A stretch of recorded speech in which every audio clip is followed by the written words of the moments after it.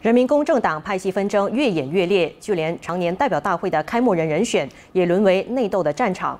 就在开幕人风波延烧之际，蓝眼一决出一项双赢的方案，让党顾问拿督斯里旺阿兹沙为共青团大会主持开幕，而署理主席拿督斯里阿兹敏则是妇女组的开幕人，暂时缓和了这场纷争。按照公正党的传统，共青团和妇女组代表大会都是以联合开幕方式进行，一般是由署理主席担任开幕嘉宾。不过，共青团今年却打破传统，不邀请党老二阿兹敏，而是邀请党顾问旺阿兹沙主持开幕。妇女组代表大会坚持保留给阿兹敏开幕。公正党通讯主任法米今天在公正党总部召开记者会，向媒体汇报党代表大会的进展时表示。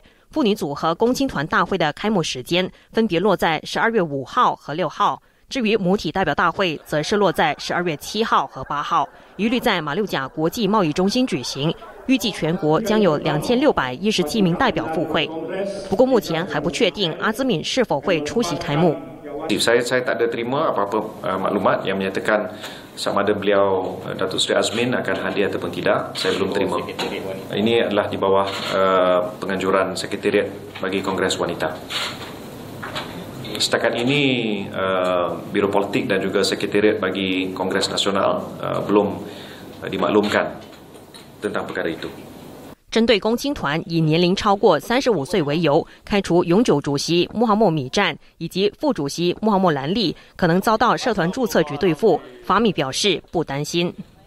Uh, setakat ini tidak menjadi isu ya, kerana isu mengenai pengurus tetap dan timbalan pengurus tetap ini adalah di bawah bidang kuasa peraturan bagi sayap Angkatan Muda Keadilan dan ia tidak melibatkan uh, sayap utama ataupun badan utama iaitu cabang-cabang dan uh, parti keadilan rakyat itu sendiri.